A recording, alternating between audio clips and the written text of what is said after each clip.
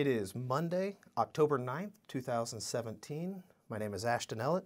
I'm here with John Padgett of Athens, Georgia, uh, for another installment of the Two Party Georgia Oral History Program, sponsored by the Richard B. Russell Library at the University of Georgia. Uh, thank you very much, Mr. Padgett, for joining us today. My pleasure. Thank you. Really do appreciate you participating. Um, just to begin with, tell us a little bit about your, your background. Where were you, you know, born and raised? I was born in Greenwood, Mississippi at the end of World War II. Uh, my dad was uh, uh, stationed there for a year as adjutant. Uh, why they had an Army air base in Greenwood, Mississippi, I still don't know. But he'd been overseas three times as a cryptographer, and they um, he had a, a, little malaria problem, so they didn't want to send him back. And that's where I came along. Uh, we moved from there to Ringo, Georgia, where my family was from, and then subsequently, um, in about the third grade, we moved down to Comer, Georgia, to the little elementary school there, and I went to school in Comer, then I went to school in Colbert, Georgia, and then uh, moved out at the end of uh, in Athens in the Tallassee Road in a little house that uh, had a coal burning fireplace about yay big and no running water in the house. And uh, for about six months while we were there, my little brother and I, and I guess my mom and dad, I, I don't know about that for sure, but we bathed in the creek. There was a hand pump in the kitchen, and that's all the water we had out there. And then, uh, then we moved into Athens and became cityfied and I went to Chase Street School, and then there was no gap with junior high back then. I went straight from elementary school to high school, and graduated from Athens High uh, in 1963. Subsequently, went to University of Georgia, uh, majored in uh, business. Uh, my main course of study was marketing, and then went out into the business world. I was in the business world up until three or four months ago. This has nothing to do with politics, but has to do with Athens. Where were the city limits back then? Oh, goodness gracious. They were uh, not too far outside of Five Points.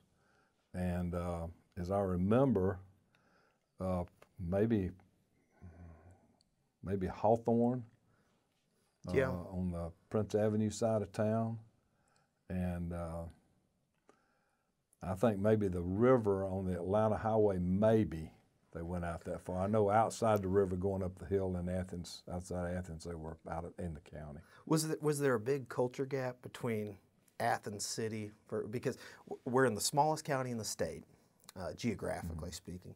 Um, and today they're unified, and everybody thinks of Athens, Clark County as this one relatively homogenous unit. Was, was there a culture gap, a, a politics gap, and a, a, a, class gap between city and, and As growing up here, uh, I, I, didn't recognize that. Sure. sure. Uh, I had friends from neighborhoods all over the city uh, as a little boy. And I, I just don't remember that. I, when I got to the University of Georgia, I think there were 10 or 12,000 students at the university. Mm-hmm. They were building um, a couple of the girls' dorms there on Baxter Street, uh, Brumby and uh, whatever the other one there was that they were building back then, as I was in school. And no, um, it was just a quiet, almost little country town. It was not a, uh, it's not anything like it is today with the university the size it is and, uh, and the growth of the, of the county. Okay, so let, us talk about that a little bit. How you were in business, real estate, insurance um, from the fire sector, as they mm-hmm. say. Um, explain or walk me through the sort of growth of Athens from that small country county to uh, a relatively major metropolitan, not metropolitan, but, but urbanized. Well, it, it, appeared to me that, of course, the university had sustained growth. I don't know that they ever had a huge growth in students uh, in one year. Mm-hmm. It was mm-hmm. just a trickle uh, seemed to me like. Of course, I've been here for 65 years. Um, but uh, we had growth as far as facilities were concerned here at the university. And because we were a university town, uh, it seemed to have brought um, uh, some cultural aspects that maybe a town the size of Athens without the university would not have had. And then we were fairly well located uh, close to the uh, city of Atlanta, Mm-hmm. and we had a tendency to gravitate economically in that geographic direction. And, um, and it's just uh, continued to grow with, uh, with the businesses here, uh, even though I'll have to say, uh, in my political opinion, there have been times when uh, Athens is uh, the political structure in Athens does not lend itself well uh, for business growth, but it's sort of grown. I can remember sitting years ago at having breakfast in in Beechwood Shopping Center, and at eight o'clock, looking out and seeing the parking lot beginning to fill up and Alps Road traffic going up and down Alps Road in Baxter, and thinking it doesn't really matter what the government does to us in business, we're going to figure a way to be successful in business. And that's what's happened in Athens, Clark County. Do you think that's been a relatively uh, recent development in terms of, of, of government, whether you want to call it a pro business climate or something like that? Um, because thinking back into the 70s and 80s with governor, or not governors, mayors rather, like Upshaw, Bentley, and, and I guess what you would call an Athens establishment or something like that. Has that been sort of a post uh, unified government um, development? It came, um, I think the government could have been considered or would have been considered if you were trying to put a label on it, uh, uh, pro business until about the time um, that we elected Gwen O'Looney and we had consolidated.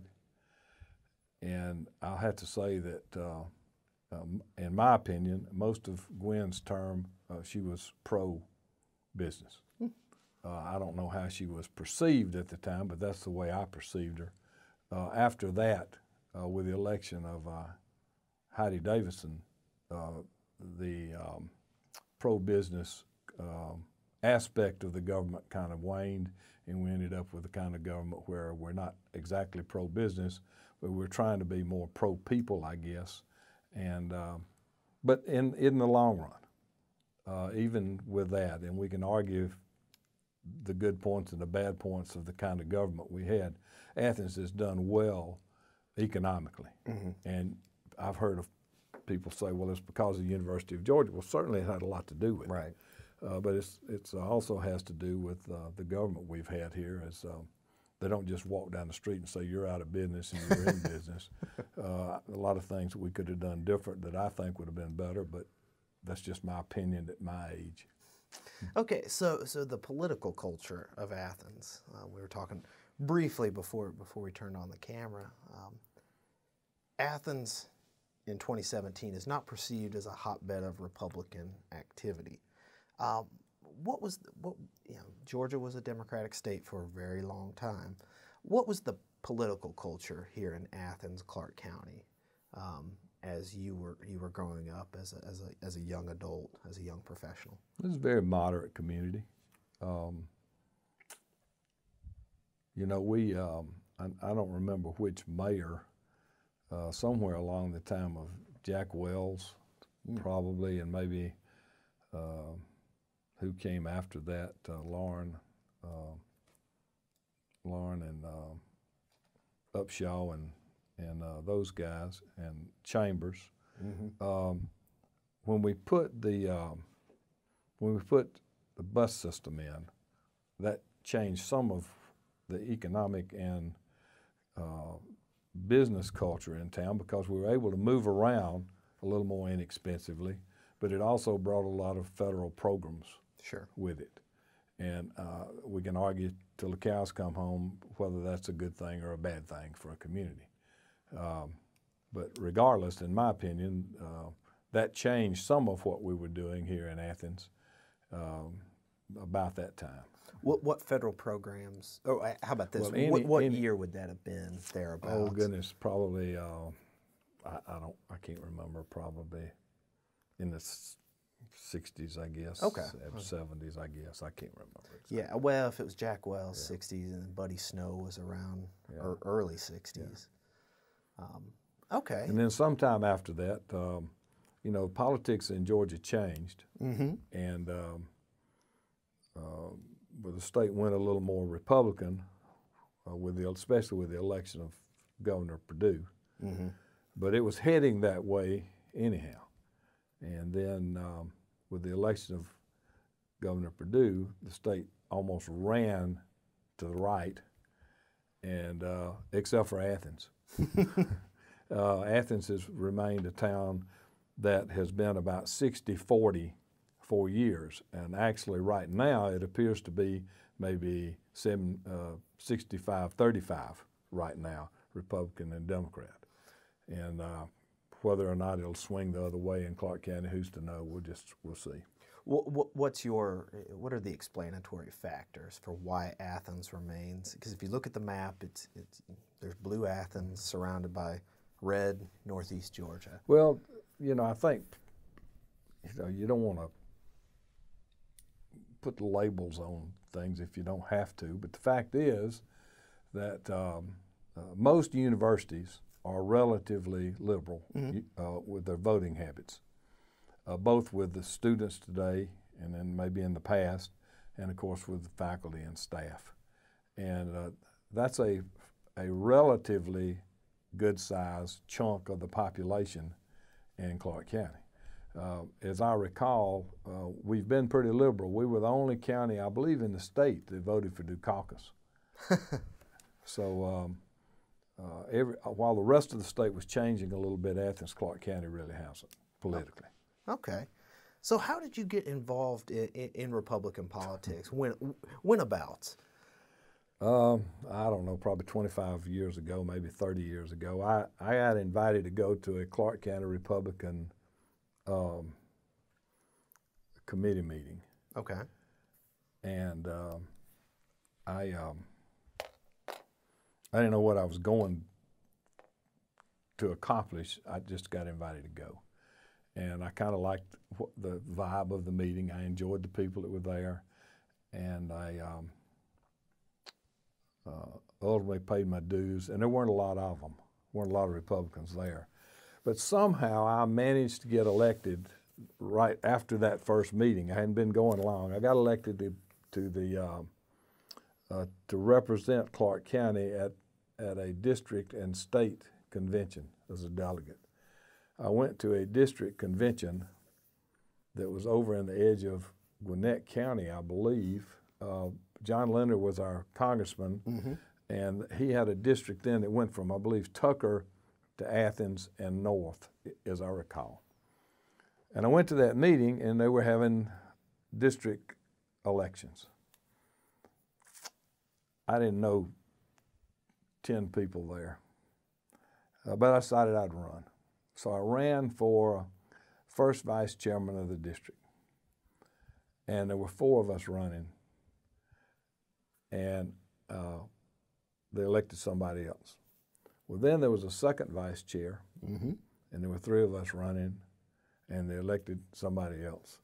And then was a third vice chair, and there were two of us running, they elected somebody else. So I won fourth vice chair of the district, which put me on the district executive committee, Right. which gave me some inroads into both district politics and state politics. And that's how I uh, got into Republican politics. So how would you situate yourself uh, ideologically within the Georgia Republican Party at that time? Uh, at the time, Yeah. um, I think I was just kind of a standard Republican, middle of the road Republican at the time. Mhm. I've become much more conservative as the years have gone by Mhm. than I was when I first joined the party. So what what were your first uh, elections or campaigns that you worked on? That I worked on? Yeah. Um, gee, I don't know. Probably Linder's campaigns uh, we worked on, and um, let's see. Um, worked on all the governor's races back then. Um, I worked on Newt's campaign. I was a co-chair for Newt for the county. Uh, of course, Sonny Perdue and and uh, of course Nathan. Uh, I worked. Um, I remember I worked um, uh, on. Uh, good Lord, memory doesn't serve me well, but a couple of state uh, gubernatorial races before um, before Nathan. I mean before Sonny. Okay. And okay. uh, and that's sort of the ones that I got involved in. I was involved in all the local races here when we back before we consolidated, and you were actually identifying as a Republican or a Democrat. Okay, so you mentioned how you've become um, maybe more conservative over time. Is that also true of the Republican Party of I- Georgia? I think so. Yes. Um, Why do you think that is? uh, because I think that so, uh, so many Republicans uh, disliked what the Democrat Party was beginning to stand for, that it made them much more conservative in their own thinking, uh, to be honest with you, than they might have been without the direction that the Democrat Party was going in. Uh, and you had then uh, along the line uh, came the uh, Christian conservative Right. branch of the party, which drove the party for a few years, and they're still very active in the party.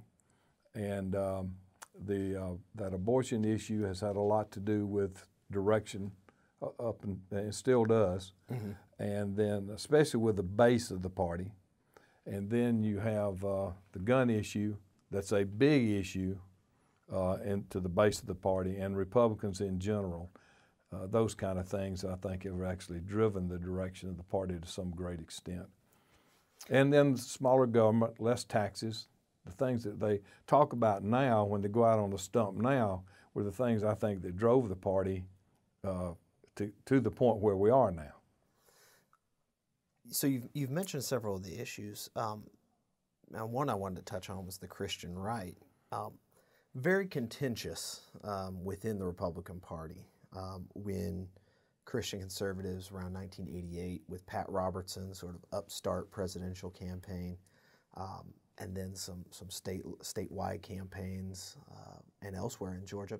Why do you think there was a friction there? Because uh, as as you've mentioned, these are conservative issues that have uh, energized what is now considered the base of the party. Uh, I, I just think that um, if you look at the Republican Party, if you go to a Georgia Republican state convention, let's say, Okay. um, and you're trying to identify Republicans in general. At a state convention, the conservative aspect of that convention, let's say, is about this big.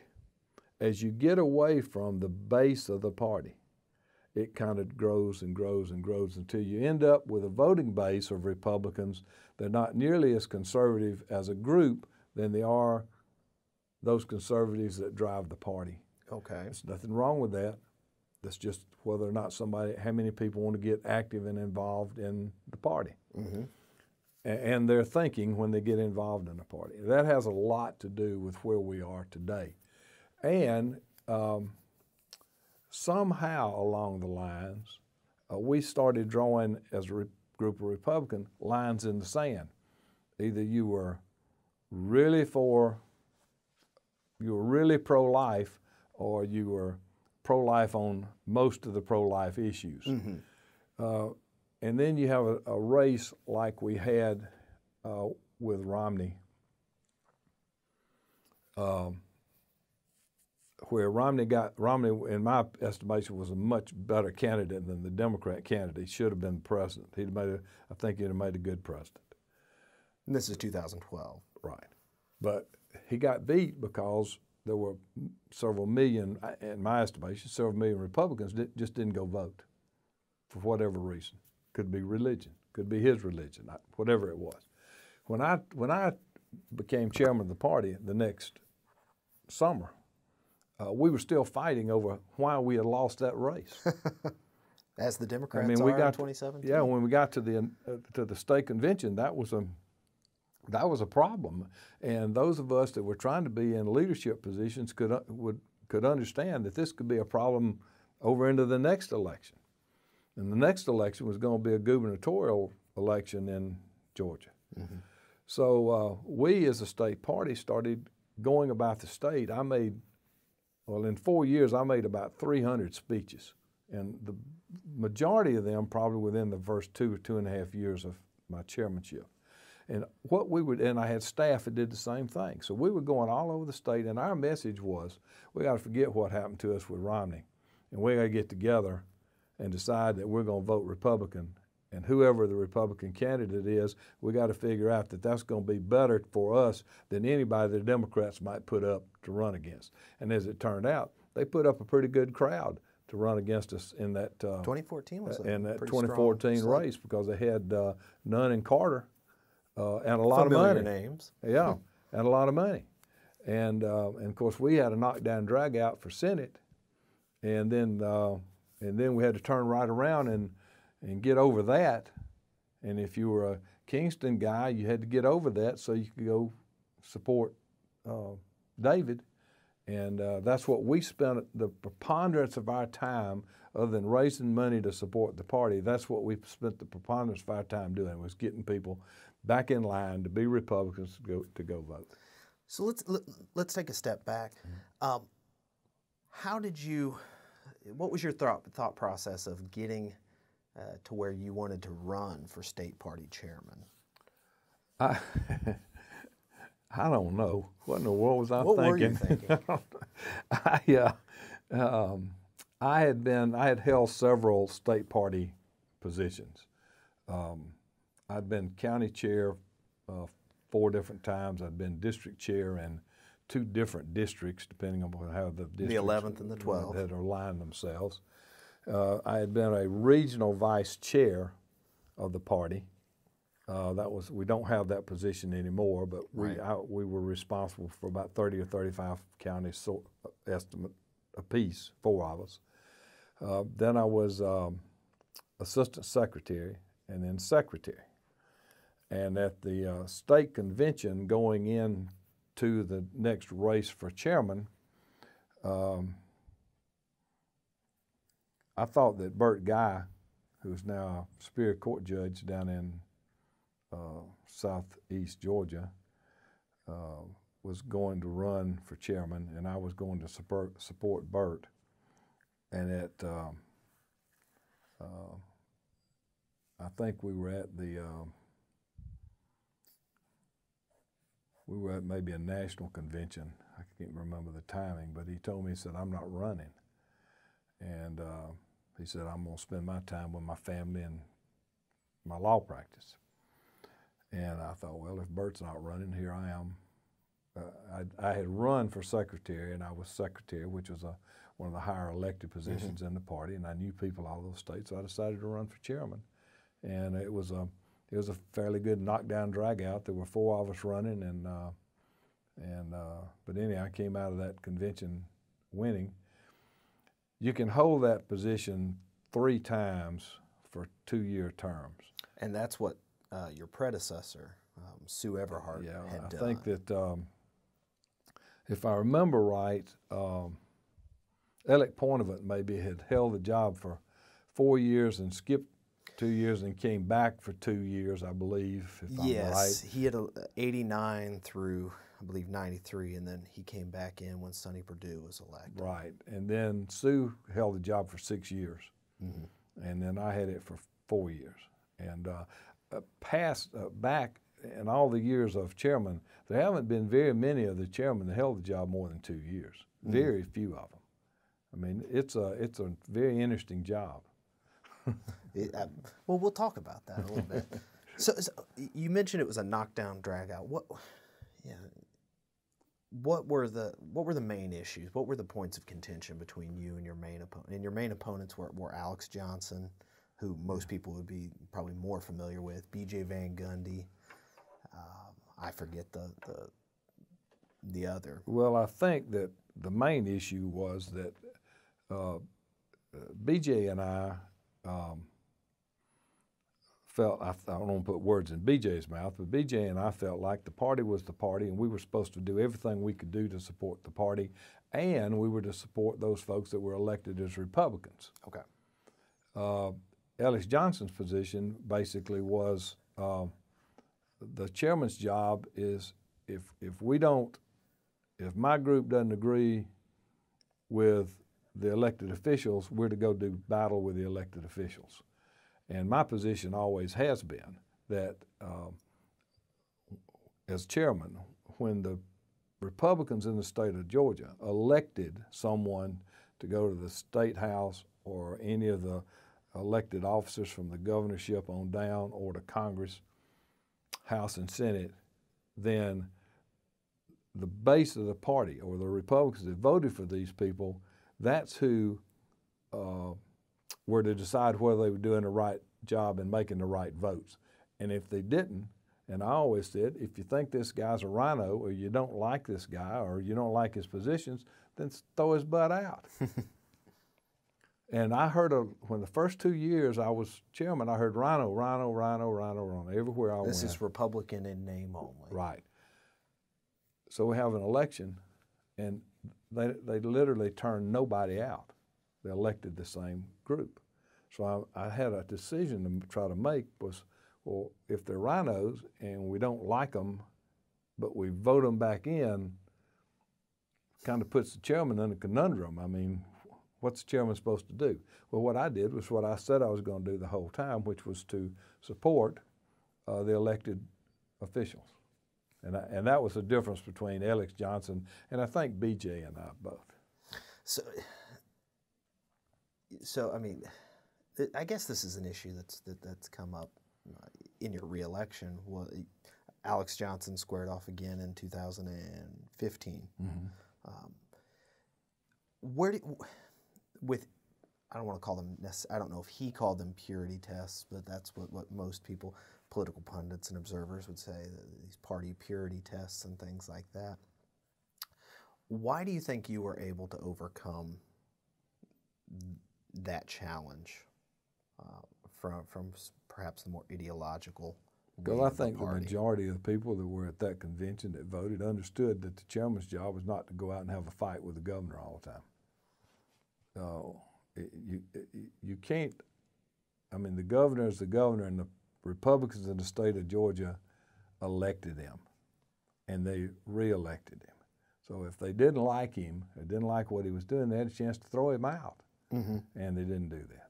In fact, very few of the folks that we've elected in the last four, five, six years have we turned out, and and I must have done something right as chairman because we didn't lose we didn't lose any ground in House and Senate, and we reelected or elected for every major Republican seat in the state a Republican. We didn't lose anything in four years, with the state demographics changing at every step of the way along the way.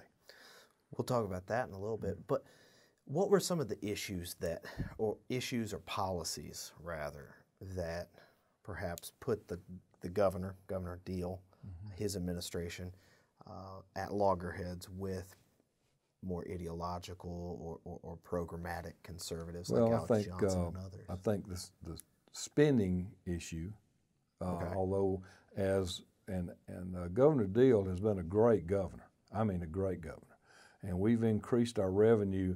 In fact, if, if he were making a speech, if he didn't mention it, he needs to, he, he should mention every time the rainy day fund, which had enough money, I think, when he got elected to run the state for about a week or something mm. like that, if something bad happened, and it's got millions of dollars in it now, and this is over a less than four year period. Mm-hmm.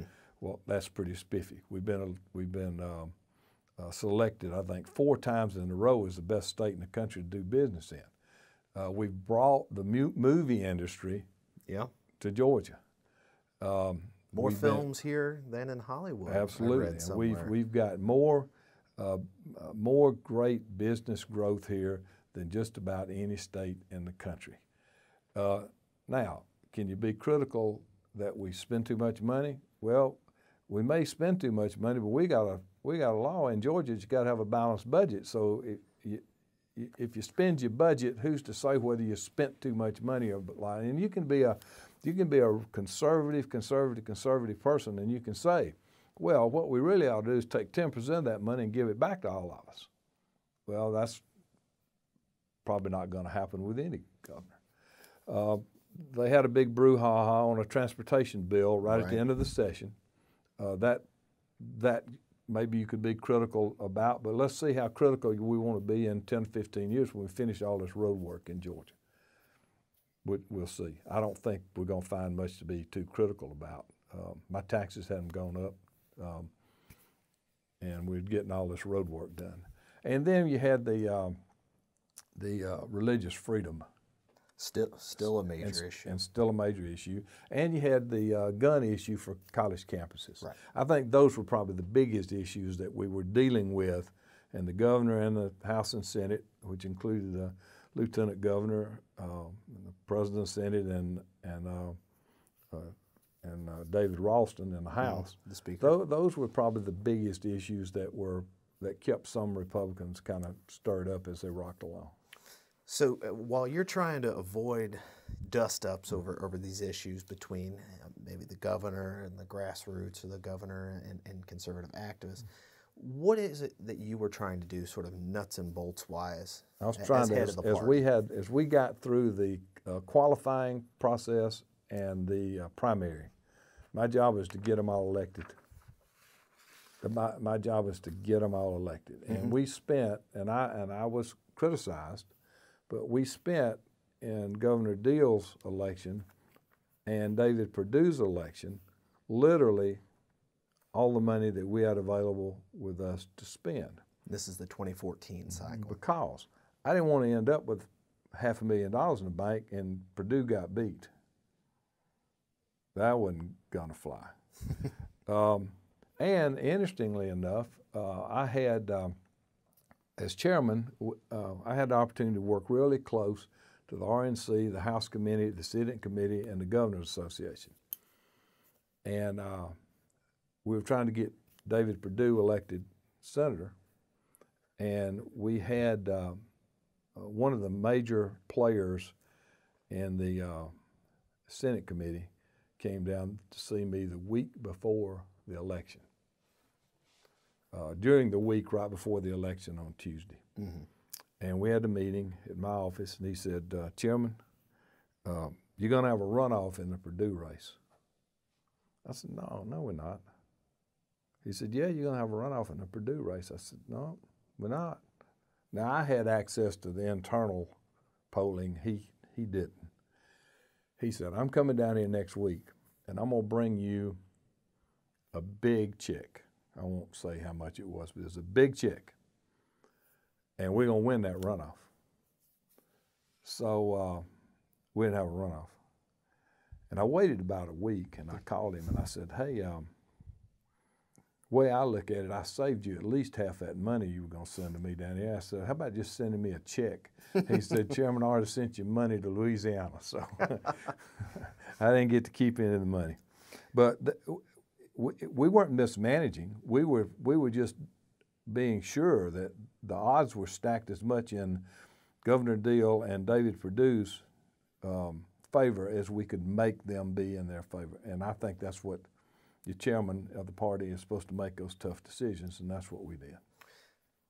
Talking about money and resources, running a political party or being the head of the political party, how has that changed in sort of the post Citizens United universe in, in terms of raising money with the rise of super PACs and, and uh, the, these outside groups that can spend limitless money? Well, it's it's. Um, I know I, I had a I got a call from Reince Priebus, um, sometime in I guess my second second year, and he was coming to Atlanta to do a fundraiser for the RNC, and he wanted me to come along with him. So I I, I went with him, and and uh, we had about twenty five or thirty big Republican donors in the room, and Reince uh, made a nice presentation, and basically what and he had a chalk whiteboard, and basically what he said, and he put up at the top, you need to give your money to RNC,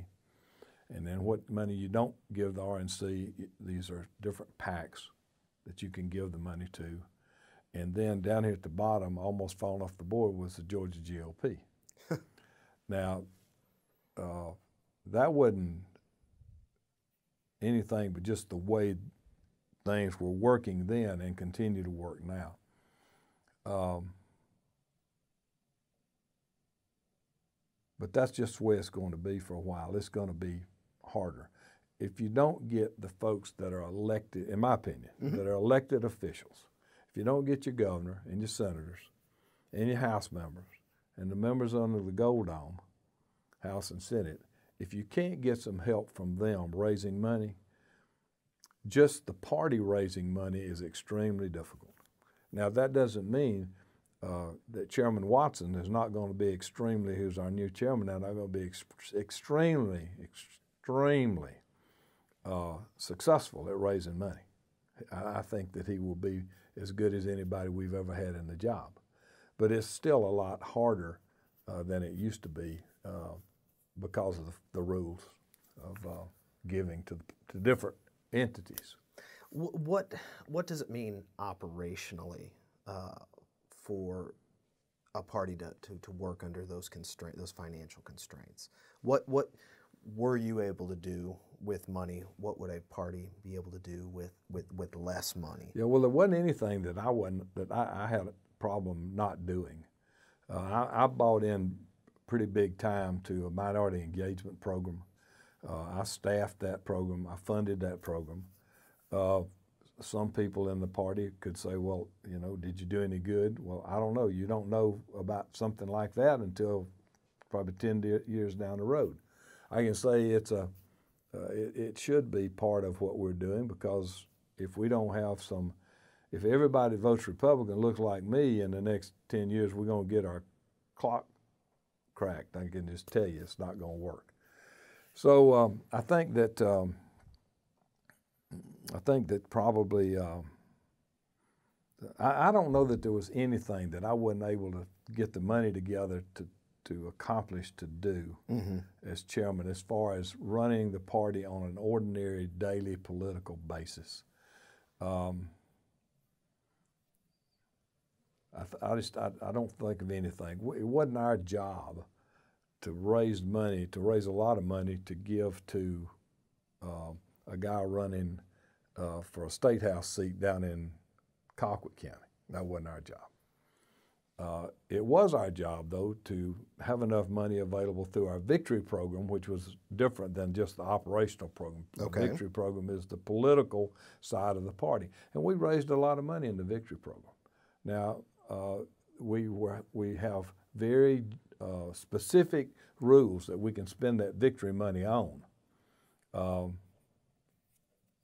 but staying within the rules, we had enough money to do those jobs. Obviously, we did because we we won everything that we were supposed to win.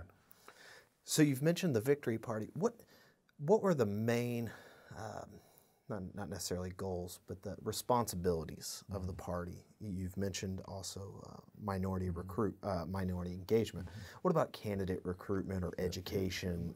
Both of those are important uh, in today's world. Mm-hmm. Registering people to vote and turning out to vote.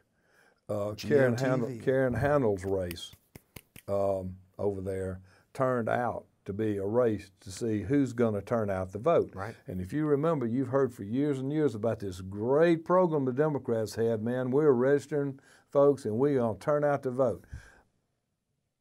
We made in in Governor Deal's race, the Georgia Republican Party, I think, made if I remember right, something like 2 million contacts. And we did the same thing in the next two years later. I mean, we, we knew how to run a statewide party political race. Mm-hmm. And we registered the folks and we turned them out. And we really turned them out. And I just think that's, that's how you win elections. You know, you want to pay your power bill, that's important. But on the other hand, uh, you've got to be able to organize, and we've got 150 or 60 counties in the state, whatever it might be. 159. 59. Um, and in all of those counties, except for maybe 15 or so, we had a county organization. And every one of them, Democrats didn't have that that I could ever find.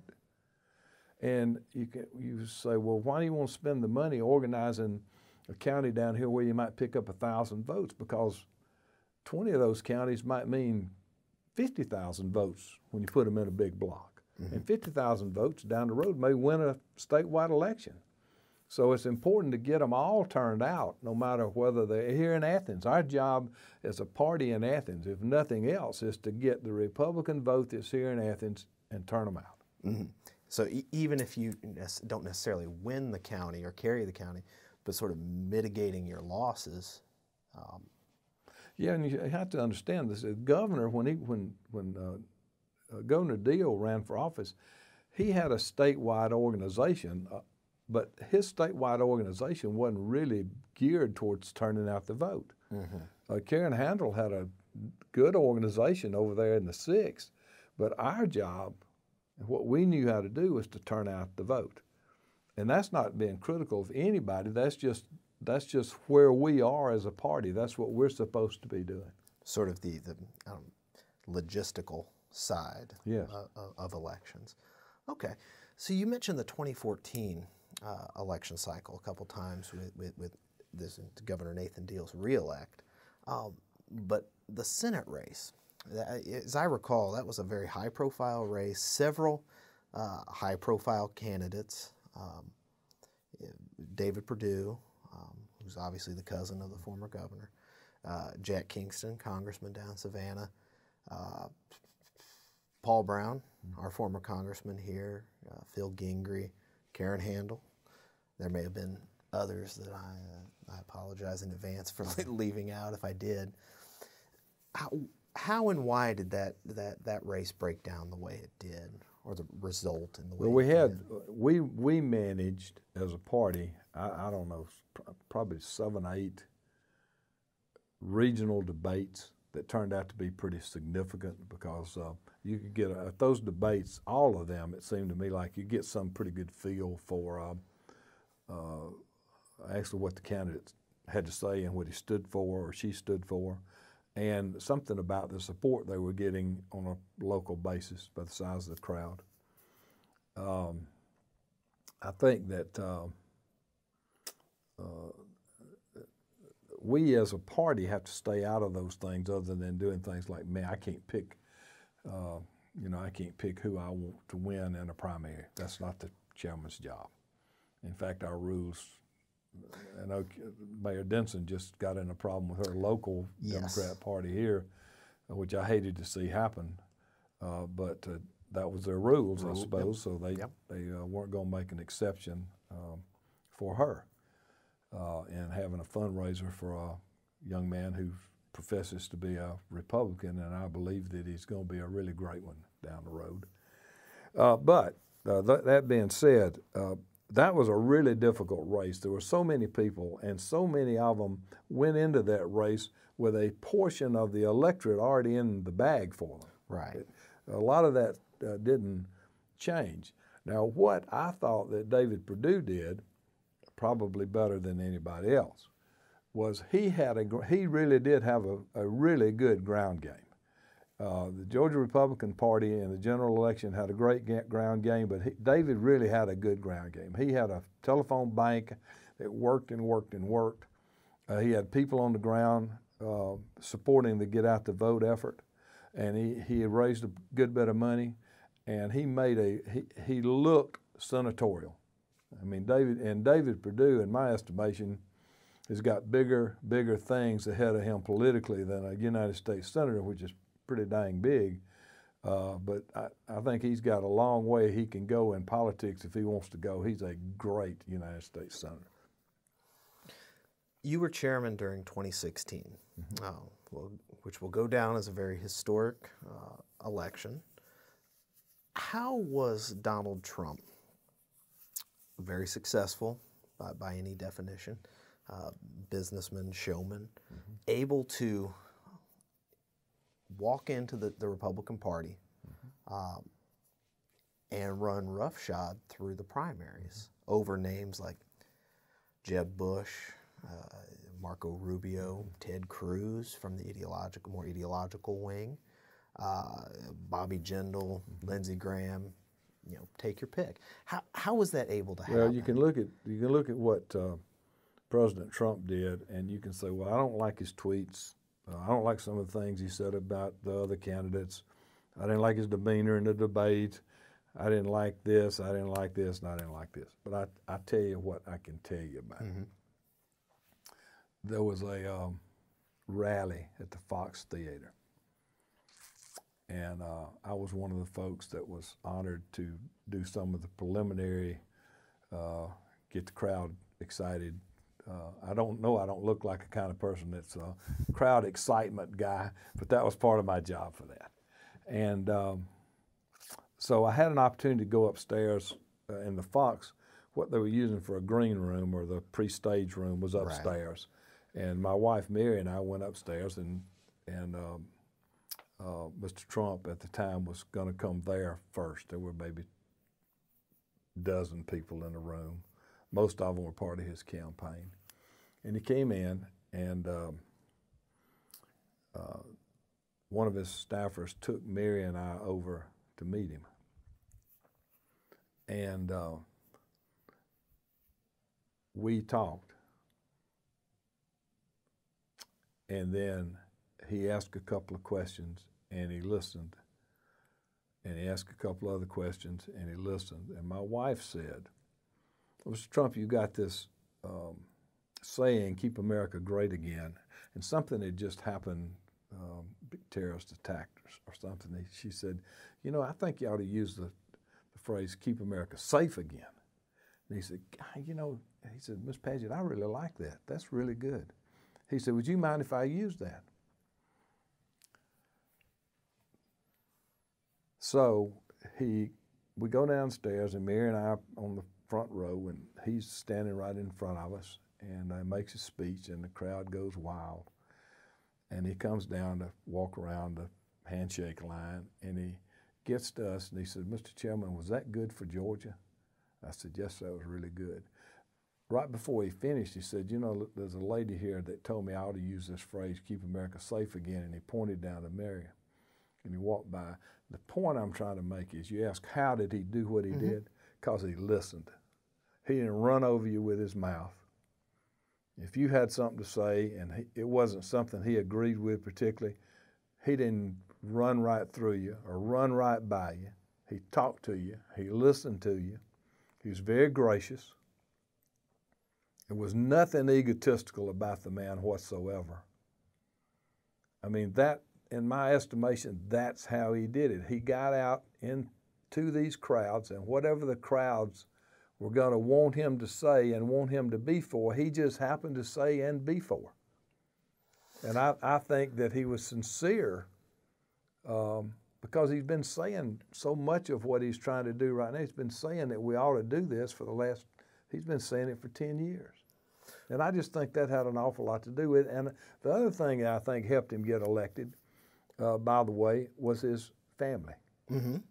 I just think they, through that campaign process, and I've met them all, they're just genuinely nice people. And they listen. What do you think the, the of course, we're only a few months into to, to the, the, his presidential term. What do you think the impact or effect uh, of a Donald Trump presidency is going to have on the Republican Party, um, its policies, maybe its its trajectory of where it's going? Well, it's probably going to be maybe a little bit more moderate. Moderate, moderate how? Well, it's probably going to be a little bit more moderate with some of its social issues, maybe. Um, I don't think it's going to be more moderate as far as um, uh, trying to uh, protect us with the military and do the things that are necessary to be done. But who's to know? When we get to the, if he gets elected and has eight years, that, that when you get to the next election, that's what it's all about is whether somebody's going to change what we've done for the last eight years or not. He's undoing everything he can undo that Obama did. Mm-hmm. God bless him for it. But when, if he doesn't get this stuff, any of this stuff through Congress, if he's just doing this through executive decisions, uh, we're going to be back if we're not careful sure. in the next election, elect a Democrat. If we elect a Democrat in the next election, they're going to be farther left than Obama was, because that's what they got available to them to run. Mm-hmm. And if we do that, then we're going to be right back in the same situation that we were with Obama. During uh, election night, if you flipped over, um, you know, pulled up a website or something, you were looking at the map of Georgia and how it was voting, and you saw that Hillary Clinton had, had carried Cobb County, Gwinnett County, Henry County. Uh, you, you know, you, anybody who's who's you know looked at Georgia politics knows those are used to be ruby red mm-hmm. conservative Republican counties. Uh, why was Hillary Clinton able to carry those counties uh, and, and still lose um, the state of Georgia? Not by a super wide margin. She, but, she but, picked up some never Trumpers. Okay. And I think that was the main thing she did. In fact, some of the never Trumpers are still available to you out there now. Um, and I think that was the biggest thing. I I knew that we because I I I, I don't really pay attention to a lot of polls, but internal polling, big time internal polling, doesn't miss it much. Mm-hmm. And this is not the polling that you see out there on Fox News. And it, it aggravated, aggravated me no end. I'd watch a map of the United States every night and it would start up here about Virginia and go to Texas, and it was red, red, red, red, red, and it'd come down to Georgia and be red, red, red, red, red, and it'd get to Georgia and it'd be blue or purple for months, for months, and it, it wasn't going to happen. Now it could happen sometime, but it's it wasn't going to happen. Mm-hmm. Um, it was closer than I would have liked for it to have been, but um, I, will you know, there's a lot of money got spent in Georgia uh, politically. Mm-hmm. So um, you know, I was happy with the way it turned out. Well, as chairman, obviously. Yeah. So in 2000, you've already mentioned uh, the sixth district race in 2017. Uh, that was Tom Price's mm-hmm. district. Um, I think I was listening to the Political Rewind on GPB a while ago, and they were talking about the the way the sixth district w- was drawn. There's actually more Democrats in the sixth district because uh, former Representative Tom Price was sort of on the outs mm-hmm. with, with, with the Deal administration. Um, it was still a strongly Republican district. Why was Jon Ossoff, uh, a relatively unknown Democrat, 30 something, able to one raise about $35 million and, and able to find 48% of that district to vote Republican, or well, excuse me, couple, Democrat. A couple of things. Number one, he didn't have anybody running against him. Mm-hmm. So he was in a general election mode from the get go. Okay. Um, he had an awful lot of national uh, uh, Democrat money that came floating into Georgia, a lot, a lot, more than we did from everywhere in the country, including New York and California, mm-hmm. a lot. And then we had a rather difficult primary. We were yeah, eleven or so Republicans. Yeah, I, I, mean it was just one of those tough primaries, and uh, uh, and we weren't able. We, we could talk to people about going to vote. We could talk to people about registering to vote, mm-hmm. but we couldn't really say, you need to go vote for Karen because we didn't have Karen as a candidate. We, we were just stuck. Right. And uh, so he got a he had several months of general campaign mode, and he had good he had some pretty good people working with him, pretty good national people. He ran a pretty good campaign.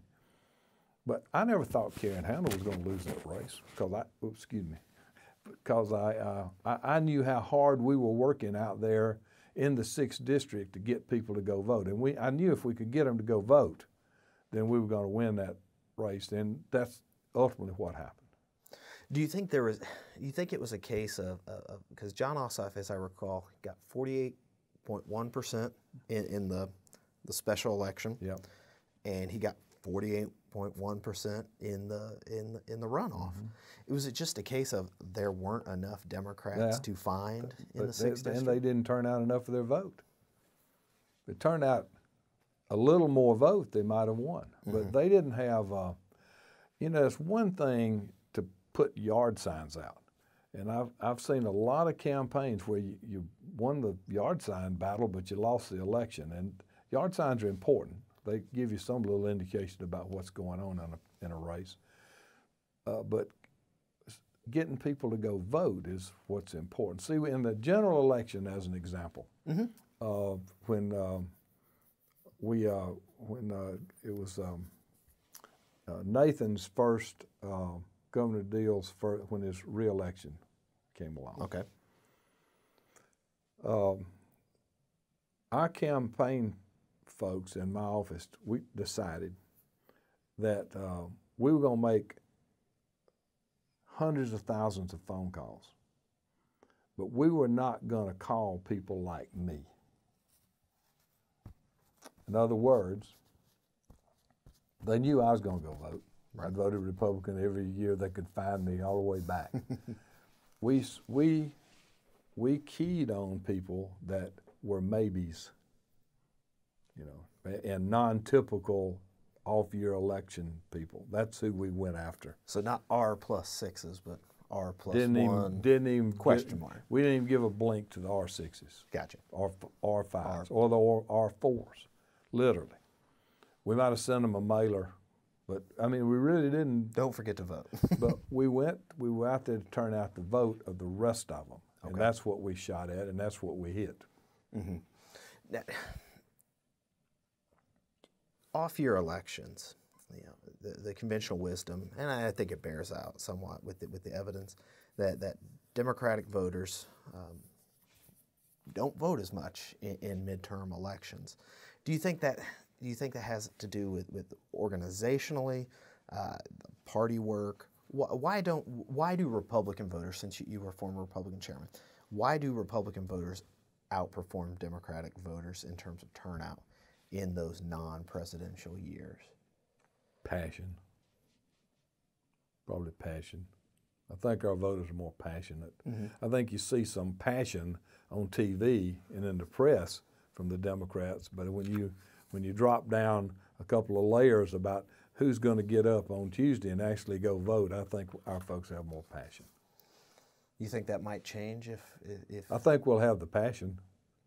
But we see we've we've brought in uh, or brought not brought in, but we've we've uh, there have been about a million new folks moved to Georgia in the last ten years, I Right. think. And my estimation would be that um, less than fifty percent of them are probably Republicans. Okay. Well, that sort that sort of transitions us into the, the next sort of qu- questions I want to talk about. But it took you've been involved with the Republican Party for a very long time. Um, involved when the Republican Party was, uh, if not the most desperate minority party, but a, a, a distinct minority party. How were the Republicans in this state able to go from minority party to competitive party um, to now a relatively dominant majority governing party? the the parties, the Republican Party became more conservative, and the Democrat Party became more liberal, and the people that were living in the state of Georgia were not more liberal, and they left the party. Okay.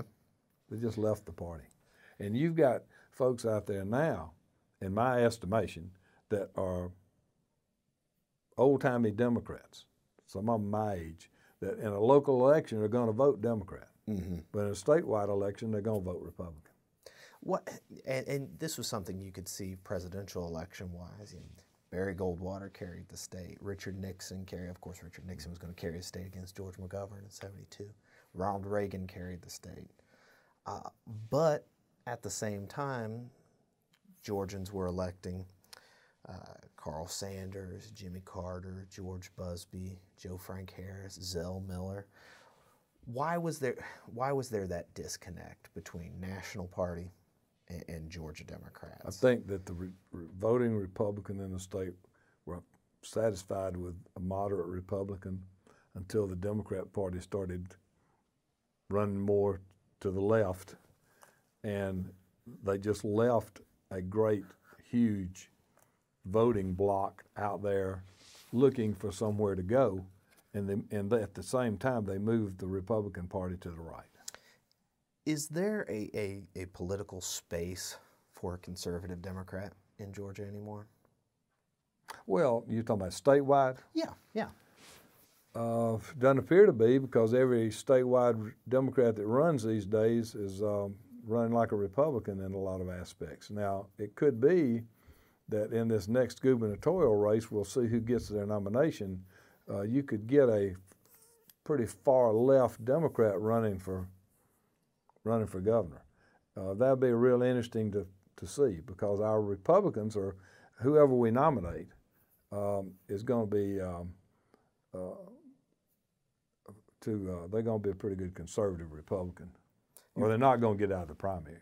Okay, so okay, let's let's talk about 2018. We'll sort of work our back our way back towards these you know, structural or philosophical questions. 2018, um, on the Democratic side, mm-hmm. you have the two Stacys, uh, former representatives, one minority leader, Stacey Abrams yeah. from DeKalb County, um, and then former Representative Stacey Evans from Smyrna down in in Cobb County. As a former Republican state chairman, what, what is your estimation uh, of that race?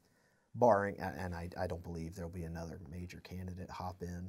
Well, I had, a couple, I had a couple left. pretty well. I mean, people that study this pretty well said they thought it was going to be Evans. And uh, to be honest with you, until I heard that, I really thought it probably was going to be Abrams. Why is that? Uh, I just thought that she was going to be able to get more uh, bang for her buck when she starts spending money. She's been out there and it uh, on a. I would estimate more people in the state, statewide, would probably know who she was as mm-hmm. opposed to a, a, um, a, a, politician that's mostly just Atlanta. But I, who knows? well, I, I can I can tell you this: in the last four years, the one job in the state of Georgia that I'm glad I didn't have was a job DuBose Porter's got. Your counterpart, I, chairman of the Democratic Party yeah, of Georgia. Yeah. How do you think that race is going to break down in in your? We're early. Obviously, qualifying is not until next April. Um, but how do you think that that race is going to break down? primary? Yeah, yeah, in the primary. Uh, well, it, the, the, race sort of, I think right now, uh, sort of depends on um, the strength that Hunter Hill can garner. And this is on the Republican side. Mm-hmm. Okay. Yeah. You, is that what we're talking about, or is that what you, or you want the Democrat side? Oh, I, we were, we, yes. Well, let's the, talk about the, the Republican side. Okay. First. Okay. So let's let's um, run through the candidates. And first. then you got. Um, oh, go ahead. Okay. So so state you already mentioned State Senator Hunter Hill mm-hmm. um, from Atlanta, uh, State Senator Mike Williams. Um, I'm not sure where where Mike Williams is from, uh, off the top of my head. Uh, Lieutenant Governor Casey Cagle, mm-hmm. a Gainesville Republican, Hall County Republican, mm-hmm. very familiar. Uh, Brian Kemp, mm-hmm. our fellow Athenian mm-hmm. uh, from here in Clarke County, Secretary of State.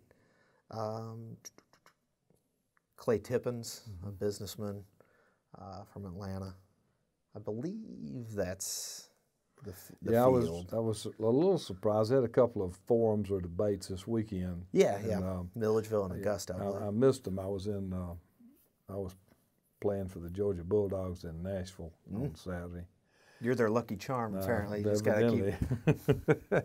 but um, I was surprised that Tippins didn't show up at uh, at least the one in Milledgeville. I don't know whether he went to one in Augusta. I was surprised because one thing he needs is some name recognition and it depends on how much of his money I think he puts into this race as whether he can influence a race or not. Right.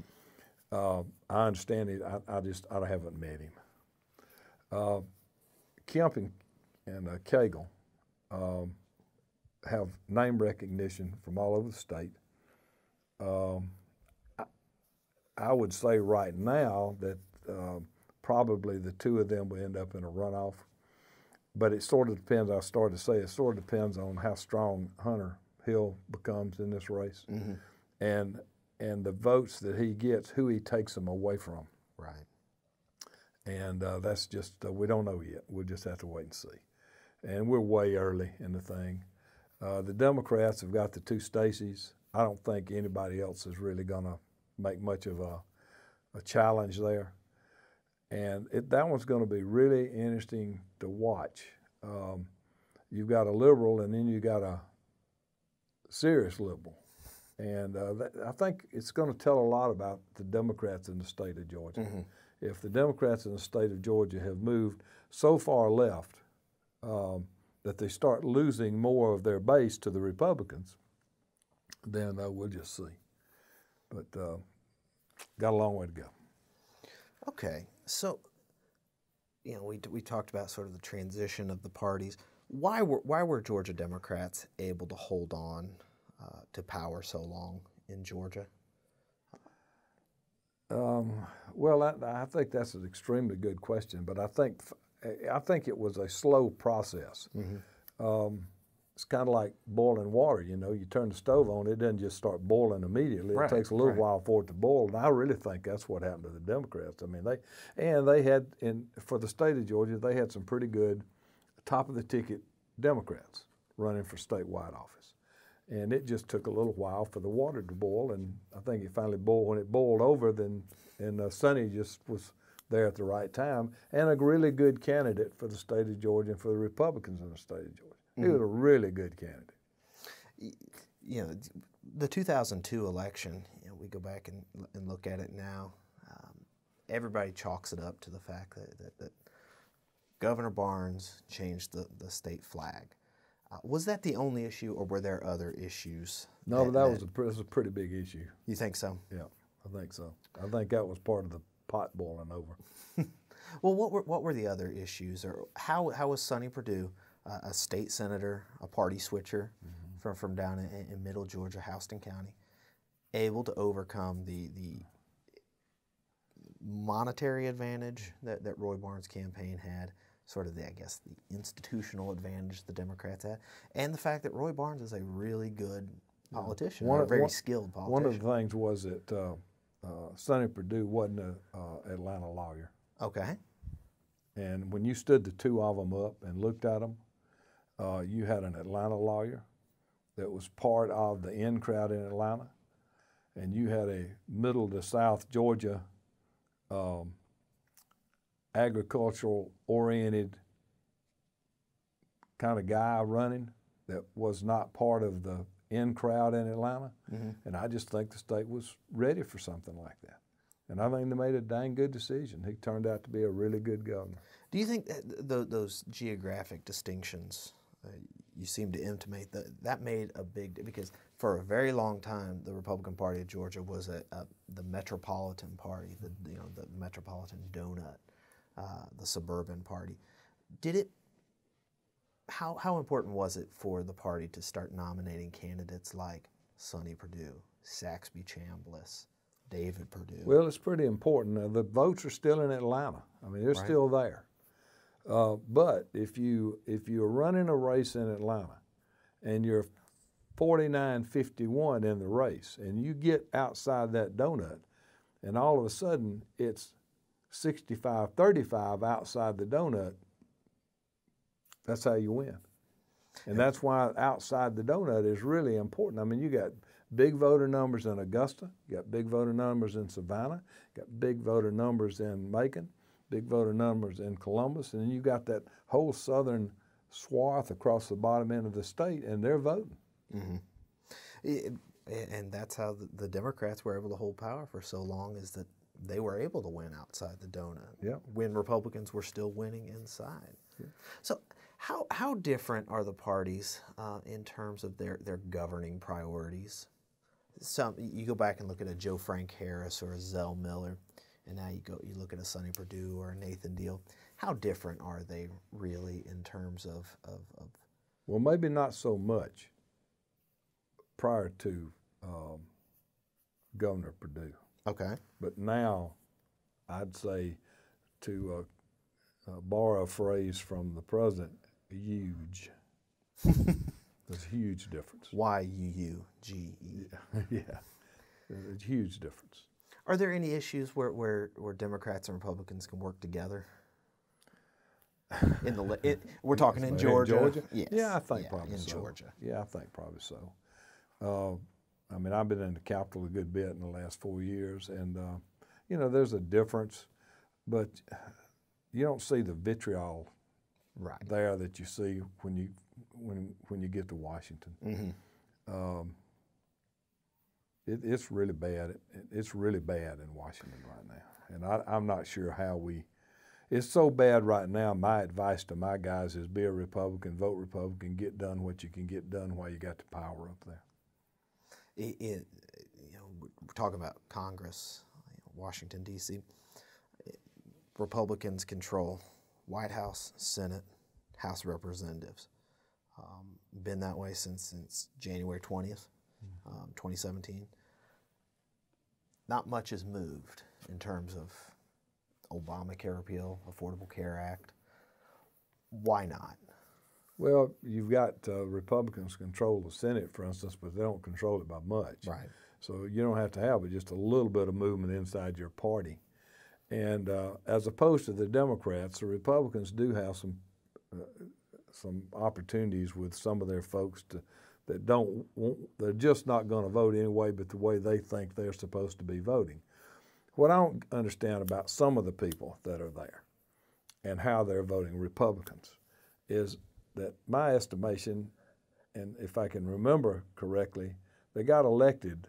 The reason we've got the House and the Senate, I think, is because of Donald Trump. And um, it's not just Donald Trump, it's the people that voted for him and what they meant when they voted for him that sometimes gets lost in all of the yakking that you see on TV. But if you're in a state where people voted for Trump, in my estimation, if you want to get reelected again, you need to really pay attention to what Trump stood for and what the voters were trying to tell you. And I don't know whether we are or not. Some of our folks act like they don't care about anything except just being negative right now, and that's that's not good for us or the country. What about here here in Georgia? What are the Republican Party's uh, key priorities or or, or their uh, their goals or their, their governing philosophy? What what does it mean to have a Republican government here in Georgia? Well, I think we're I think we're as far as Georgia politics is concerned, we are we are a conservative party. Uh, we are about uh, uh, smaller government and less taxes. How much smaller and how much less is up for debate inside the electorate of the party. Uh, I think we are a uh, uh, we are a, a pro-education party. How we go about defining what that means is something to be left up to the voters of the party, but we pay attention to that. Uh, we're, I think we are trying to be as fair as we can be in this state, or uh, uh, on the immigration issue, uh, I, I, just would, um, I think we need to, before we do anything else with immigration here in the state, we need to just sit back and watch, see what the feds do next. Um, I think that we've done a good job with our Medicaid program, mm-hmm. and that's a tough program. Um, but we've done a good job with it. Uh, we haven't broken the budget, and I don't hear you know, I, I, don't hear an awful lot of people complaining about the Medicaid program in Georgia. They may be out there, but I don't. I haven't heard them. Uh, so I think that probably that we've been a, we've been a, a good uh, steward of of the government of the of the state of Georgia, and I think that's if nothing else, if we go out and in in uh, 20 years we look back at this last uh, eight or ten years, then that's what people. I think that's what the historians will find happened with uh, with Republican politics. What is the what's the greatest danger imperiling uh, the Republican majority in this state? In Georgia, mm-hmm. um, losing that passion to go vote. What about demographics? Uh, that's well, you know, it's it's kind of interesting. It, it, depends on how we handle the demographics. We we turned out a big number of Latinos in the last election.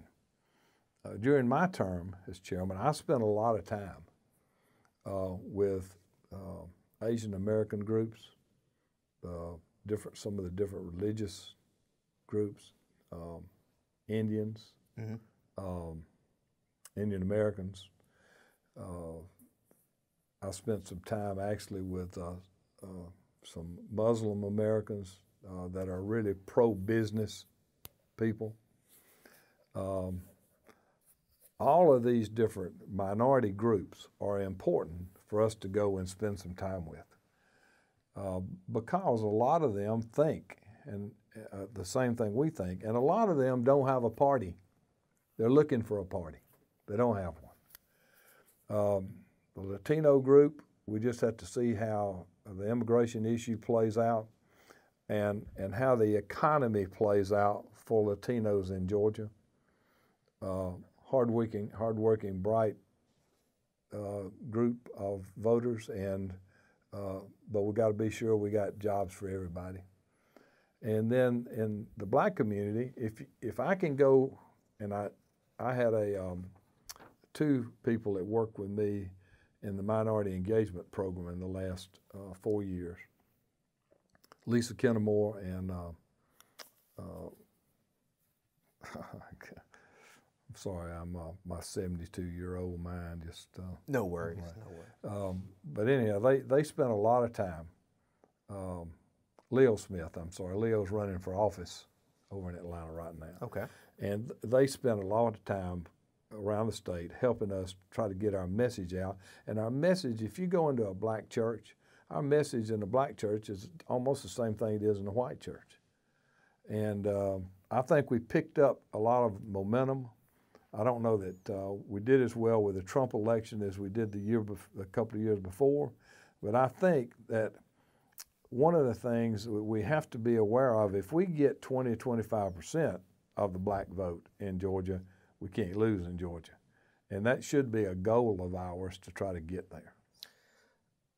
Do you think the rhetoric um, at the top of the at the top of the ticket, um, with regard to, if you want to, building the wall, um, or, or, the so-called Muslim ban, do you think that hurts what what maybe you were trying to do or other part, state parties, local parties are trying to do with that minority outreach or, or the different ethnic group outreach efforts because it, that is such an amplified message. Well, it depends on how that it depends on how it gets portrayed in those different voting blocks. Okay. And whether we have an opportunity to blunt some of the the uh, misinformation that's out there, and um, so it's hard to tell right now.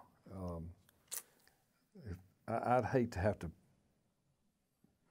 uh, bet my income for the next several years on whether or not uh, we were going to make uh, big inroads uh, into minority uh, groups over those two issues. Mm-hmm. I, just, I don't know. What about criminal justice reform? That's been one of one of, one of Nathan Deal's signature programs, reforming uh, sentencing laws, dr- diversion programs for, for drug, nonviolent, first time offenders. Um, that's something that's really taken him in a different direction than, than sort of the older law and order style uh, Republican, at least in tone. Um, we'll see how it plays out in practice, you know, 5, 10, 15 years from now. What kind of influence do you think that has on, on, on the branding and, and uh, selling of the Republican Party? Yeah, I think it's, uh, use that term again, huge. Um, we need to be able to get the message out about it. Um, you know, when Governor Deal makes a speech, he always brings it up. Sure. But it's something I've been in favor of personally for a long time, and I think that that his, you know, there's a couple of uh, parts of what he's doing. One is to be sure that someone who's in jail for something that's not a, a um, really bad offense, right. they have an opportunity to get out. And if they use that opportunity, they actually progress and get out. And then he's got this other side of this where he's trying to make job training available so those folks got a job. Mm-hmm.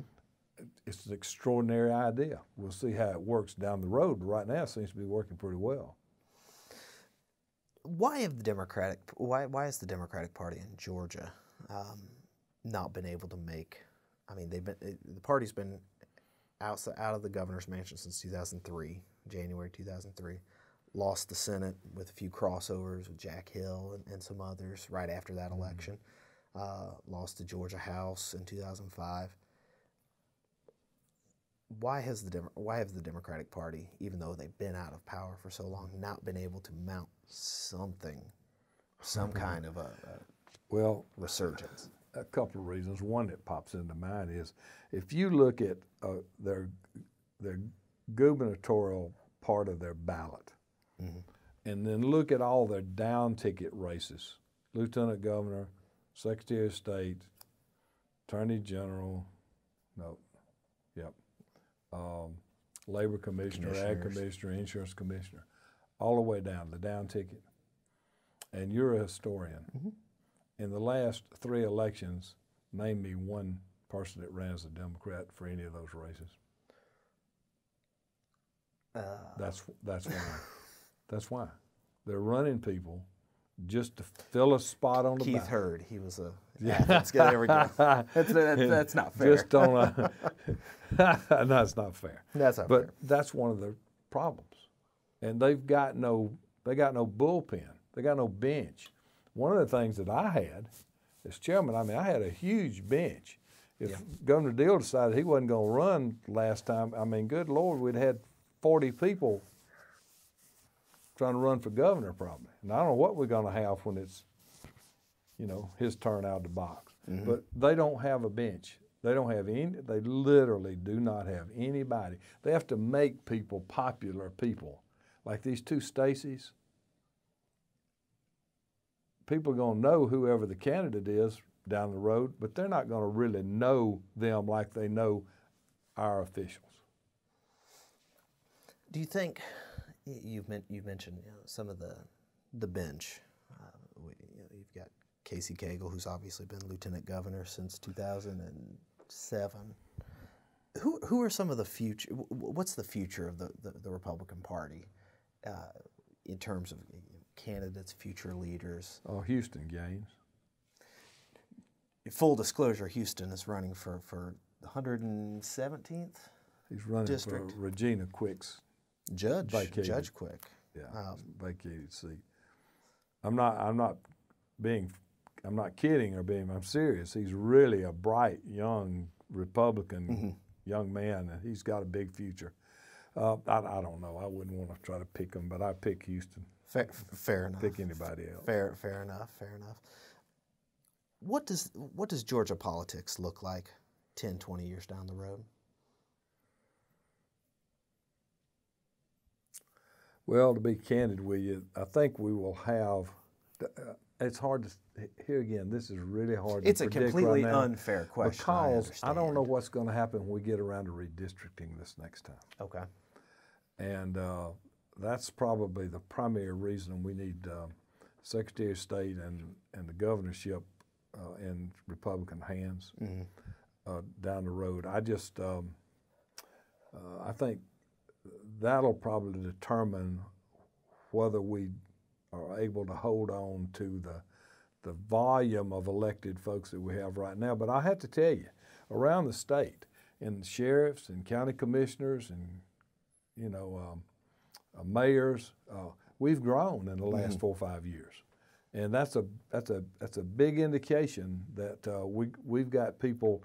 In, uh, this bench we're talking about, it goes way deep. I mean, it's all the way back from uh, from a uh, county commissioner to the state house and senate, and I just um, I don't know how it's going to pan out based on that redistricting though. That's going to be a really interesting thing to, to watch. Do you think Democrats will be able to win, or more likely to win a statewide election than they are to slowly build up a majority the way Republicans were able to do? If they don't build up their base, I mean their uh, bench, winning a statewide race is going to continue to be really problematic. For So, so you're you're definitely of the mind that, that building a competitive party is, is, is bottom up, not sort of a decapitation top down strategy. Yeah, I want people that wanted to go vote for um, uh, for uh, Brian Kemp, and then while they were there, they voted for governor. Okay. You know, I'm looking for those kind of voters too around the state. I want a Republican to go vote for whatever reason they're going to go vote. And when you got all these folks that have been running around the state for two years and talking about being a labor commissioner and this is what we've done, the insurance commissioner, this is what we've done, and making speeches, that makes it exceedingly difficult for the Democrats to get much traction. You, mentioned the, the, the lack of a, a Democratic bench, and we're, we're, you know, you and I are both from Athens. The name that is back in the news is John Barrow. Yeah, I tried to beat him for 35 years and finally got him, and now he's back. He, he, he's back. Do you think John John Barrow's obviously a very very skilled, po- obviously, um, raising money. Um, is there any way that, that John Barrow, a candidate like John Barrow, can make uh, make his way back into to statewide office? Nope. Nope. The, the- you just don't think the electorate is there statewide? I don't. Not for Secretary of State. You think that's just too obscure or, or, or down ticket or, or just? Well, I think that whoever comes out of our primary, based on the folks that are running for Secretary of State, are going to come out knowing what they're doing and going to be really good at what they're at, at running a campaign statewide. They're really good. okay. Well, is there anything else you'd like to record No, I for appreciate posterity? the opportunity and thank you very much. And uh, as always, I thank my wife for allowing me to come over and spend the time with you today. Because without Mary, I wouldn't have been able to be political for all these years. Well, fair enough. Mr. Padgett, thank you very much for participating. Uh, the Two Party Georgia Oral History Program, sponsored by the Richard Russell Library at the University of Georgia. Thank you very much.